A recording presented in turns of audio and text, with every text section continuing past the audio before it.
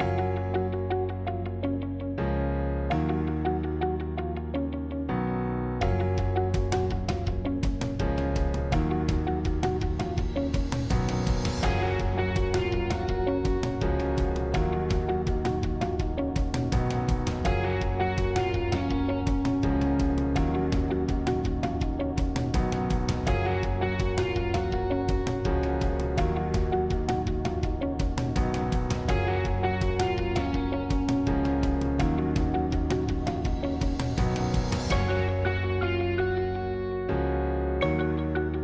Please watch complete video using the link in pinned comment.